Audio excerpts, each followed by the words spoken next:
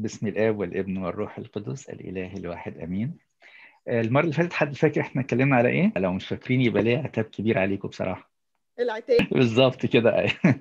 المرة اللي فاتت اتكلمنا على العتاب. اتكلمنا على كذا نقطة في العتاب. اتكلمنا على اولا ابتدينا طبعا بالآية اللي موجودة في الكتاب المقدس إن أخطأ إليك أخوك فاذهب إليه وعاتبه بينك وبينه وحدكما. إن سمع منك فقد ربحت أخاك. وخدنا الآية دي وابتدينا نتكلم عليها كلمة كلمة حتى أول كلمة اللي هي يعني إن آه وقلنا يعني الآية بتقول إن أخطأ فاتكلمنا على كذا نقطة. النقطة الأولى اللي هي على كلمة إن دي هل فعلا أخويا أخطأ إلي أو أختي أخطأت إلي ولا أنا ربما أكون أنا اللي مخطئ؟ واتكلمنا في الموضوع هل فعلا أخطأ إلي أخي. وبعد كده اتكلمنا على إيه هدف العتاب من نفس الآية لما بتقول فقد ربحت أخاك. آه إن الهدف والدافع ورا العتاب يكون أن أربح أخي أو أربح أختي. آه ما يكونش لمجرد تصفية حسابات شخصية ما يكونش لمجرد إن أنا علشان متضايق وعايز أطلع المضايقة في الشخص اللي قدامي أو خلافه اتكلمنا على الموضوع ده على هدف أو الدافع وراء العتاب. والنقطة الثالثه كانت طرق العتاب. إيه طريقة العتاب؟ من حيث المكان إن يكون المكان مناسب إن الآية بتقول اذهب فإذا أنا بروح له مخصوص يعني تشو إن أنا مهتم فعلا بالمحبة تفضل موجودة بيننا. مش استنى لما نكون في مكان عام ولا أتقابل معاه بالصدفة ولا حاجة زي كده فيشعر يعني إن هو كلام مش طالع من القلب. لا أنا بروح مليان محبة مليان رغبة في إن أنا أربح أخويا. والزمان إن الوقت لازم يكون مناسب برضه ما يكونش في وقت غير مناسب للشخص الآخر أو مثلا بعد سنين طويلة خالص خالص من المشكلة اللي حصلت ونروح نعاتب بقى على مشكلة حصلت من سنين طويلة الزمان برضو مهم من حيث العتاب والأسلوب طبعا مهم جدا جدا جدا. من حيث الأسلوب اللي أنا هتعامل بيه أتعامل إزاي اتكلمنا في الثلاث نقط دول هل أخطأ إلي أخويا فعلا؟ ما هو الدافع وراء العتاب وما هو أسلوب أو طرق العتاب؟ وقفنا عند سؤال طرح نفسه في القصة دي كلها السؤال بيقول طيب هل التجنب أفضل إن أنا أعاتب؟ يعني بدل ما أنا أعاتب وممكن يكون نتيجة العتاب ما تجيبش الهدف اللي أنا بأسعى إليه. هل الأفضل إن أنا أتجنب هذا الشخص أو أتجنب هذه الشخصية وما أتعاملش معاها تاني علشان ما نزعلش من بعض تاني؟ ده الموضوع اللي هنتكلم فيه دلوقتي. ونشوف هل العتاب أفضل أم التجنب أفضل. هل حد عنده أي سؤال لغاية دلوقتي؟ طبعا هو يمكن اللي ما حضروش المرة اللي فاتت يحسوا إن هم يعني إيه مش مجمعين الموضوع قوي. لكن عموما ممكن ناخد الموضوع التاني دون وبعد كده يسمعوا الموضوع الأولاني في اليوتيوب أو حاجة لأن هو اتسجل. محدش عنده سؤال؟ أوكي. حد أخطأ إلي وفعلا أخطأ إلي وفعلا يعني أنا ليا حق يعني. هنفرض يعني كده. دلوقتي السؤال طيب هل أنا فعلا يعني أروح له بجد ولا ما أروحلوش؟ أتكلم معاه ولا ما أتكلمش معاه؟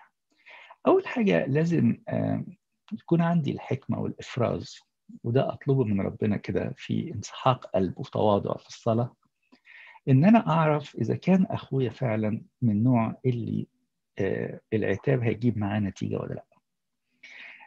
مش من الحكمة اطلاقا إن الواحد يروح يعاتب إنسان هو عارف كويس قوي إنه لا يقبل العتاب يبقى عارف إن هو لما هيروح يعاتبه هتكون النتيجة يمكن مشكلة أكبر أو هتكون النتيجة إن إحنا يمكن نخسر بعض خالص ونخسر صداقتنا خالص. طيب لو أنا ما قدرتش أعاتب الشخص اللي قدامي هل أتجنبه خالص ومبقاش أتعامل معاه؟ سؤال يطرح نفسه هنا هو أولا هل التجنب ممكن يعني أنا أقول أتجنبه. طب هل التجنب practically يعني possible ولا مش possible ليه؟ لأن لو كان الشخص مثلا اللي أخطأ الي أو اللي زعلني دون حد ما ينفعش إن أنا أتجنبه في حياتي. يبقى التجنب is not an option يعني. يعني زوجي أخطأ الي أتجنبه؟ ينفع؟ ما ينفعش طبعا. أخوي أو أختي أخطأ الي هل يقدر الإنسان يستغنى عن أهله؟ يعني أخوه أو أخته؟ ما ينفعش. طب ابني أو بنتي غلطت في حقي أتجنبهم وأقول خلاص أنا مش هعاتبهم ومش هتكلم معهم وفي نفس الوقت أتجنبهم؟ طبعا ما ينفعش. التجنب في بعض الأحوال ما ينفعش. طيب لو التجنب ممكن يخلق مشكلة يعني لو الشخص اللي أخطأ الي دوت مثلا حماتي أو حماية ده التجنب مش بس مش ما ينفعش. ده يخلق مشكلة كبيرة جدا. لو أنا تجنبت حماتي طب أنا هتعامل إزاي مع جوزي؟ هيزعل جدا ويقول لك أنت مش عايز تكلمي ماما أنت مش عايزة تتعاملي مع أختي أنت مش عايزه تتعاملي مع بابايا. وده ممكن يخلق مشكلة أكبر بكتير من المشكلة الأصلية يعني. فاذا في بعض الحالات ما ينفعش التجنب. ما نقدرش نقول إن التجنب. يبقى اذا بنرجع تاني للسؤال. طيب أنا مش قادر أعاتب ومش قادر أتجنب. يبقى إيه الحل؟ في حل ثالث حل ثالث الحل حلو إن الإنسان يكون قلبه كبير ويسامح ويغفر ويقول معلش ما جراش حاجة حتى لو كان في إهانة. طب ما هو السيد المسيح بنفسه أهين من أجلي احتمل من أجلي أحتمل أنا كمان. يعني الاحتمال ده فضيلة جميلة جدا بنتمثل بيها بالسيد المسيح نفسه. السيد المسيح محتملنا لغاية النهارده. كل واحد مننا بيخطئ مرة ومرات كل يوم. يعني يعني ربنا ما زهقش منا ما قفلش باب الغفران ما قفلش باب التوبة في وشنا. لسه بيسامحنا لسه بيقبل منا إهانات لسه بيقبل منا أخطاء كتيرة وخطايا كتيرة. لسه. ولسه بيحبنا ولسه بيغفر لنا ولسه بينسى الإساءة. فإذا كان أنا ربنا بيغفر لي كل يوم ليه أنا ما أغفرش لأخويا أنا كمان وأنسى وأعتبر إن الإهانة اللي حصلت فيا دي يعني كده زي إكليل يعني أو أو حاجة بركة اخذتها من الشخص. واحد يقول لي معقول الإهانة تبقى بركة؟ لو مش مقتنع قوي الإهانة تبقى بركة وهي طبعا بركة يعني هقول لك على حاجة بسيطة. في كم مرة إحنا أخطأنا ولم نهان؟ يعني أو لم نأخذ العقوبة على أخطائنا. كتير قوي. يعني many times we get away with what we do من غير bad consequences من غير ما بنتحاسب أو نعاقب على أخطائنا. كتير قوي قوي قوي. كل يوم كل يوم الواحد بيعمل أخطاء ولا يعاقب عليها. ويمكن محدش يدري بيها. طيب لو أنا عوقبت أو أهنت على خطأ لم أفعله أحط دي مكان دي وخلاص. يعني أعتبروه ميزان كده. ويجي الواحد يقول لنفسه إيه؟ مم. هي الإهانة اللي جات لي دي ما جاتليش بس علشان أنا يعني كنت في الموقف ده ولكن هي جات لي لأن أنا عملت موقف قبل كده مع ناس و... وما اتحاسبتش عليه. فده يعني تصفية حسابات يعني. تصفية حسابات يعني آآ آآ يعني مش عايز أقول ربنا بيصفي حسابات لأن هو ربنا ما بيصفيش حساباته. بس يعني الظروف. الظروف بتصفي حساباتها فأحتمل بناء على إن إن يمكن إن أهنت من أجل شيء لم أفعله لأني لم أهان من أجل شيء فعلته فحط دي في بالي النقطة اللي بعد كده هو لو لقينا إن العتاب مش نافع والتجنب ما ينفعش ممكن الإنسان يحط بعض الحدود. كنا اتكلمنا مع بعض قبل كده في موضوع زمان سميناه ال boundaries واتكلمنا كذا مرة في موضوع ال boundaries دي إن إزاي الواحد يحط حدود في تعاملاته مع الآخرين. وضع الحدود في التعاملات مع الآخرين مش غلط. يمكن يكون حل أفضل من العتاب وحل أفضل من التجنب. حل في النص. يعني إيه الواحد يحط حدود مع الآخرين؟ يعني يشوف المشاكل بتيجي منين؟ زي المثل في مصر يعني كان يقول زمان يقول لك الباب اللي يجي لك منه مش عارف الريح سد واستريح. بدل ما أنا يعني أخسر الشخص بالكامل أشوف إيه الأبواب اللي بتجيب الرياح العاصفة دي اللي بتدسترب العلاقة اللي بيننا؟ على سبيل المثال شخص مثلا ممكن يكون مادي شوية. وأنا عارف ان الفلوس بالنسبة له يعني شيء مهم وما بيحتملش انه يخسر اي فلوس ما بيحتملش ان هو يخسر اي ماديات. ما اجيش بقى أروح مثلا إيه واشاركه في عملية تجارية. يعني كده فتحت على نفسي باب صعب خالص. أكيد هتحصل اخطاء أكيد هتحصل يعني معاملات مش مريحة. منه بالنسبة لي أنا أحس إن هو مش fair هو هيحس إن أنا مش fair ممكن يحصل مشاكل وتحصل إن إحنا يعني نخسر صداقتنا لبعض أو محبتنا لبعض.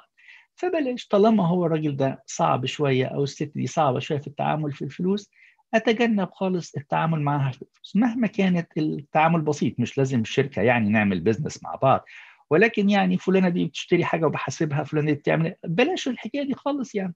يعني بلاش الموضوع ده خالص. ياما مشاكل حصلت ما بين تلاقي مثلا ست كبيرة وبنتها أو مرات ابنها أو بتاع وقالت لها اشتري لي دي يا بنتي راحت اشتريتها جابتها غالية شوية عن ما هي متعودة تجيبها تقول لها طب جبتيها ليه لما هي غالية؟ تقول لها ماما انت قلتي لي أجيبها فأنا لو ما كنتش جبتها كنت هتزعلي وتمشي زعلانة. وتروح بقى تقول لجوزها يعني لو ما كنتش جبت كانت هتزعل. ولما جبت بالغالي زعلت إنه بالغالي أنا مش عارفه أريح إزاي. وتبقى مشكلة. طيب طب ما إحنا إيه نحاول الموضوع ده ما ندخلش فيه. ما ندخلش في موضوعات مالية أو أو تجارية مع بعض مهما كانت الحاجات بسيطة يعني. نتجنب هذه المواضيع. تقولي طب أتجنب إزاي؟ ما قالت لي أشتري لها الحاجة. بسيطة خالص. خلي جوزك اللي يشتريها مش ابنها خليه هو اللي يشتري لو هو اشتراها تبقى على قلبها زي العسل ما فيش مشكلة خالص. يعني هتقبلها سواء جابها بغالي جابها برخيص جابها أي حاجة ممكن يجيبها ما يحاسبش عليها خالص. وكبري دماغك أنت. يبقى هنا إحنا عملنا إيه؟ بنحط حدود في التعامل. لو في مثلا شخص كل ما اتكلم معاه ونناقش معاه أي موضوع هو بيعتز جدا جدا جدا برأيه تحت أي ظرف من الظروف حتى لو كان غلطان. لازم يتشنج ويتدافع عن عن رأيه حتى لو بنتناقش في ماتش كورة يعني. بناقص النقاش في في في, في ماتشات الكورة. بناقص النقاش في المواضيع اللي هي ممكن تكون آم آ تعمل مشاكل. خلاص هو بيعتد برأيه وخلاص هو حر. ما فيش داعي لما نجتمع مع بعض أفتح مواضيع هو يتكلم فيها ويعني يصر على رأيه أو أصر على رأيه أصر على رأيه اكبر أنا دماغي. يعني الحاجات دي معناها إيه؟ أنا بحط حدود في التعامل مع هذه الشخصية. في ناس تلاقي بطبعها إن كل مرة نجتمع فيها مع بعض لازم تنتهي بخناقة. سواء كان عيد ميلاد اتجمعنا مع بعض في مناسبة معينة في عيد جواز في عيد مش عارف إيه. لازم تنتهي المناسبة دي بمشكلة. يبقى بناقص المناسبة دي خالص. مش لازم لما نيجي نعمل عيد جوازنا ندعي كل أصحابنا وقرايبنا وناسنا وبعدين نصهم يمشي زعلان مننا. نعمل إيه؟ نشوف بس آه الناس اللي هم قريبين قوي مننا نحتفل على مستوى العيلة حاجات زي كده. ومفيش داعي للمناسبات اللي بتخلق ال friction وبتخلق ال environment اللي ممكن إن إحنا نزعل فيه مع بعض. وبعد كده نضطر بقى نفكر نعاتب ولا ما نعاتبش ولا نحط حدود ولا ما نحطش حدود ولا نتجنب ولا ما نتجنبش. نبتدي بدري عن كده بكتير قوي بإن إحنا نقول إيه؟ آه بلاش التجمعات اللي بتعمل المشاكل دي. في مثلا آه واحد ممكن لما يتفتح موضوع معين بيوجعه قوي. ما افتحش الموضوع ده. يعني مثلا مع أولادنا. نبقى عارفين إن اولادنا حساسين جدا جدا جدا من ناحية أصدقائهم. مجرد ما أجيب لبنتي سيرة صاحبتها دي على طول بنتي تزعل وتتشنج وممكن تقول كلام صعب عليا وممكن تقول آه كلام يجرحني. طب خلاص أتجنب الحديث أو الحوار عن هذه الصديقة اللي هي مثلا آه بنتي حساسة من ناحيتها أو أو أتجنب الحديث عن الصديق اللي ابني حساس من ناحيته قوي. ممكن جدا يكون جوزي مثلا حساس قوي قوي قوي قوي من موضوع المصاريف والأسعار والحاجات زي كده. لو اتفتح موضوع الأسعار والغلو والمصاريف والبيت تبص تلاقيه زعل وتشنج وممكن يقول لي كلام يجرحني. أتجنب هذا الموضوع معاه. مفيش داعي إن إحنا نفتحه. ويعني نحاول إن إحنا دايما نشوف مواضيع تانية نتكلم فيها. أحيانا تحصل مشكلة كبيرة قوي. تيجي مثلا واحدة تكلم حماتها على ابنها. يعني واحدة متجوزة. فلما تروح لحماتها تجيب سيرة جوزها اللي هو ابن حماتها ده وتبتدي تعيد فيه مثلا أو تقول فيه كلمة. ممكن تكون حتى حقيقة. ده فلان ده مش منظم خالص ده أنت لو شفت الدولاب بتاعه ما يتشافش. ده أنا اقعد أقول له حط الغسيل هنا وحط الهدوم النظيفة هنا حتى دول يلخبطوا على بعض مش بتشتكي جوزها أو بتفتح حديث وخلاص. بس طبعا ممكن جدا حماتها دي تكون حساسة جدا جدا جدا من ناحية جوزها من ناحية اللي هو ابنها يعني.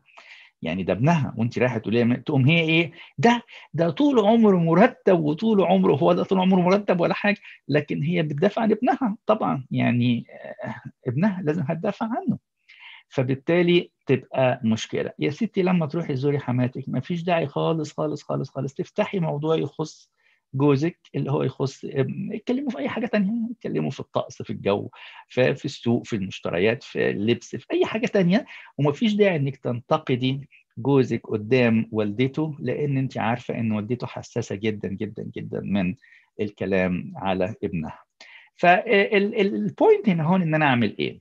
إن أنا أتلافى الموضوعات أو المواقف اللي ممكن أصلا تسبب المشكلة اللي هتحتاج بعد كده لقرار أعاتب ولا ما أعاتبش أو أتجنب أو ما أتجنبش. وده عبارة عن إن أنا بحط boundaries في العلاقات بتاعتي مع الآخرين علشان ما ندخلش في مشاكل. آه نرجع ونقول إن إحنا كان عندنا دلوقتي option العتاب option التجنب و option الإيه؟ الحدود. البعض ممكن ياخد بقى ال option الرابع اللي إحنا ذكرناه في كل مرة على خفيف كده اللي هو إيه؟ option إن أنا أغفر وأكن الموضوع ما حصلش. ولا أنا هعاتب ولا أنا هتجنب ولا أنا حتى أحط حدود. أنا إنسانة بكبر دماغي وبفوت ويقولوا اللي يقولوه يعني الكلمة ما لزقتش والمحبة تحتمل كل شيء وأعدي الأمور. ده طبعا بيهيفير جميل جدا جدا جدا ولكن نكون حريصين إن أحيانا الواحد يعمل غلطة كبيرة جدا جدا جدا مع موضوع إن هو يكبر دماغه دون وهي إيه الغلطة دي؟ الحقيقة الغلطة دي خطية كبيرة قوي قوي قوي اسمها خطية التشهير. يعني يا التشهير أنا فاكر إن إحنا مرة اتكلمنا على موضوع برضو التشهير والكلام من من ورا الناس وحاجات زي كده. يعني إيه؟ يعني أنا تعبت من موقف معين أو من إهانة معينة جات لي من شخص معين. قلت عاتب لا الشخص ده مش هيحتمل عتابه وهخسره. لا أنا عايزه ابقى على محبته مش هعاتب. أتجنب؟ لا مش هقدر أتجنب لأنه صديق عزيز أو قريبي أو أخويا أو أختي أو كده. أو ابني أو خلافه فما ينفعش إن أنا أتجنبه. طب أحط حدود؟ أنا مش هعرف أحط حدود معاه لاننا قريبين من بعض وكده. فإيه؟ اكنه ما قالش حاجة. خلاص والطيب أحسن. لكن كل ما أقابل حد من أصحابي أتكلم شفت فلان عمل إيه؟ ده حصل وحصل وحصل وقال لي وأنا اتجرحت. بس أنا خلاص أنا قلت الموضوع يعني أنا لازم أنسى الموضوع ده وأعديه. طبعا ده أسلوب مش سليم اطلاقا. الأسلوب السليم إن أنا يعني زي ما بيقول إيه forgive and forget. لو أنا قررت إن أنا ما أعاتبش وما أتجنبش وما أحطش حدود يبقى لازم يكون فعلا أسلوبي أسلوب روحاني سليم جدا. إن الموضوع ده أنساه تماما من فكري ومن ذهني ومن حياتي كلها. لأن كون إن أنا أفتح الموضوع ده مع حد تاني يبقى ده في عملية تشهير عملية التشهير دي ممكن تخلق مشاكل أكبر بكتير جدا. الشخص اللي أنا اتكلمت معاه ممكن يروح ينقل الكلام ده للشخص اللي أنا أصلا مش عايز أتعاتب معاه. يعني أنا نفسي مش عايز أتعاتب لكن اللي أنا اتكلمت معاه راح من ورايا وقال على الكلام ده بقت المشكلة أكبر. أو ممكن التشهير ده يسبب مشكلة بيني وبين ناس برضو قريبين مني جدا. يعني فرضا أخت جوزي قالت لي كلمه وأنا قلت لها أنا هعاتب ولا أنا هقول وخلاص وأنا لو عاتبت هفتح المواضيع وأقلب أقلب المواجع وكده وخلاص وبعدين دي أخت جوزي وخلاص والمحبة تصل لكن كل ما أتكلم مع جوزي أجيب له السيرة ما أنت ناسي أختك عملت فيا كذا وكذا وكذا وكذا أنت مش فاكر اللي حصل في عيد ميلادي أنت مش فاكر اللي حصل في فرحنا أنت مش فاكر اللي حصل لما رحنا لهم والمفروض كنا ندارك طب ما هو صحيح هو مش هيروح ولا يقول لأخته ولا كل حاجة ولكن ممكن علاقتي بجوزي تفسد بسبب إن أنا عمال أجيب الموضوع يوم بعد يوم وتاني وتالت ورابع ومش بنسى الموضوع. صحيح أنا ما رحتش عاتبت الشخصية دي نفسها ولكن كلامي مع حد تاني ممكن إن هو يسبب مشاكل كبيرة جدا في حياتي أنا برضو في غنى عنها. اذا أنا لو قررت إن أنا ما عاتبش إن أنا برضو ما أتكلمش في الموضوع ده مع حد خالص علشان ما يبقاش الموضوع بيذكر كتير وده بي ممكن ي aggravate أنا أكتر وممكن هو ي aggravate الناس التانيين اللي أنا بتكلم معاهم ممكن يعمل لي مشاكل أكتر. conclusion في موضوع العتاب. العتاب شيء مش مرفوض من ربنا بل ربنا بيشجعنا عليه بشرط إن هو يكون الإنسان فعلا اخطا في حقنا. وبشرط إن يكون الدافع إن أنا أربح أخويا وبشرط إن العتاب تكون يكون بطريقة سليمة وبأسلوب سليم وفي الوقت المناسب. آه لو أنا قررت ما اعاتبش فأنا ممكن أتجنب الشخص إذا كان ده ممكن. آه إذا كان التجنب غير ممكن فممكن إن أنا أضع حدود في تعاملاتي مع هذا الشخص ولكن في جميع الأحوال الأفضل إن الإنسان forgive and forget وما يدخلش في موضوع الكلام أو التشهير بالشخصية الثانية والافضل إن هو يعني يسيب حقه في الموضوع ده. بمعنى إن هو العتاب هو نوع من استرداد الحق. أنا لي حق وأنا بسترده. فإذا أنا لو أنا تركت هذا الحق زي ما الكتاب بيقول لنا يعني اللي اخذ منك الثوب اترك له الرداء أيضا. فما يجراش حاجة إن أنا ممكن أترك إذا أنا تركت برضا وبمحبة ومن أجل ربح الآخرين فده عمل مقدس جميل جدا وأخلاق مسيحية حلوة خالص خالص وأرقى وأسمى بكتير جدا جدا جدا من الإصرار على استرداد حقي. فالواحد يفكر في المواضيع دي وهقول آخر جملة علشان دي هتفتح لنا موضوع الاجتماع الجاي إن شاء الله. إن في كثيرا من الأحوال يكون العتاب بدافع الذات في الإنسان. فالمرة الجاية إن شاء الله هنبتدي نتكلم على الذات والشخصية اللي هي تهتم بذاتها وإزاي إن نتعامل مع الذات وإزاي نتعامل مع الشخصية اللي هي بتسمى نارسيست أو شخصية نرجسية يعني. وإن شاء الله نتكلم فيها المرة الجاية. لإلهنا كل المجد في كنيسته الآن وكل أوان وإلى ظهر الدهور كلها أمين. محبة الله الآب نعمة الابن الوحيد ربنا وإلهنا مخلصنا يسوع المسيح. شركة وموهبة وعطية الروح القدس فلتكن مع جميعكم. امضوا بسلام. سلام الرب يكون مع جميعكم.